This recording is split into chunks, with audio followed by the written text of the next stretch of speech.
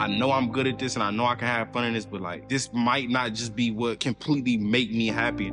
Well, I'm gonna say it like this: the higher power gave you more. When there's more given, more is expected. So guess what? Jared has an obligation to the higher power to succeed. It's the pressure though. I understand the pressure, but God built us different. Did you just tell me that?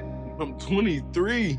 So sometimes there's a lot put on us, but it's put on us because we're the ones that can take it. Jared may not think he can sometime, but Jared can wear these shoes. That's why Jared has it. You understand me? But Jared ain't asked for it. Too bad. Jared has a destiny that Jared can't run from. And Jared ain't no coward. I already know that. So Jared may as well make up his mind and let's go. You gotta ride that horse, son. You ain't gotta ride it till the wheels come off, but you gotta ride it.